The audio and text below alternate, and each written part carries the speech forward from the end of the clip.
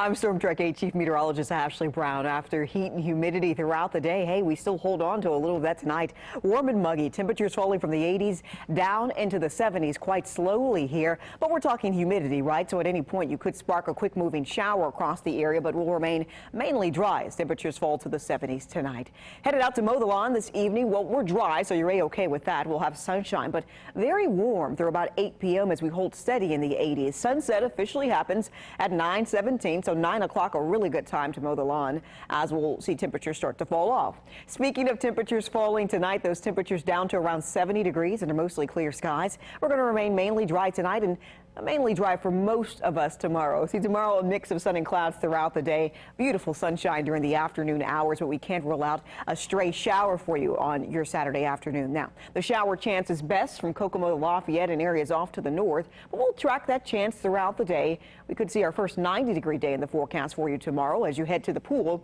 Mid 80s by 2 p.m. I think we'll make it easily to the upper 80s to right around 90 degrees by 3 p.m. So sitting out by the pool, don't forget that sunscreen and the sunglasses as the sun remain strong throughout the afternoon hours. Now, the chance of a stray shower is north. A better chance of seeing rain in this forecast on Sunday. Now, although tomorrow could be our first 90 degree day, we could repeat that pattern on Sunday.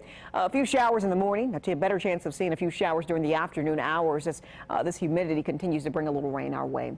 Now, the rain on the afternoon hours on Sunday is short lived. We are not expecting severe weather at this time, but we will track a few showers on Sunday afternoon. Right back in the upper 80s to low 90s. Now, these 90 degree days, they're hot because it feels much warmer when you factor in the humidity on both Saturday and Sunday. Here's your Chapman Heating and Cooling eight day forecast. We'll see several 90 degree days here as we head into the 4th of July. And I know you see the thunderstorm icon in every single day.